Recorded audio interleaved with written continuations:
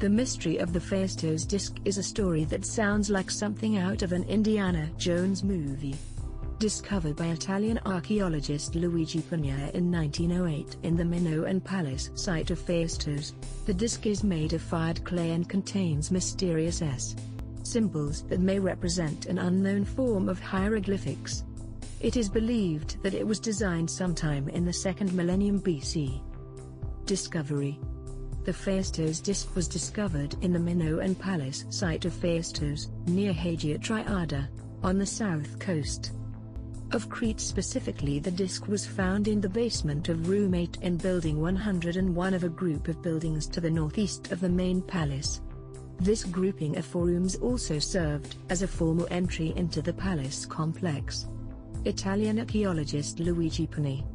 Luigi Pernier recovered this remarkably intact dish, about 15 centimeters in diameter and uniformly slightly more than 1 centimeter in thickness, on the 3rd of July 1908 during his excavation of the first Minoan palace.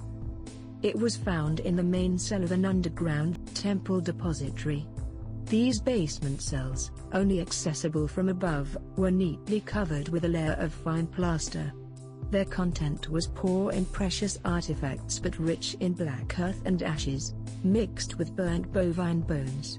In the northern part of the main cell, in the same black layer, a few inches southeast of the disc and about 20 inches above the floor, linear tablet pH1 was also found.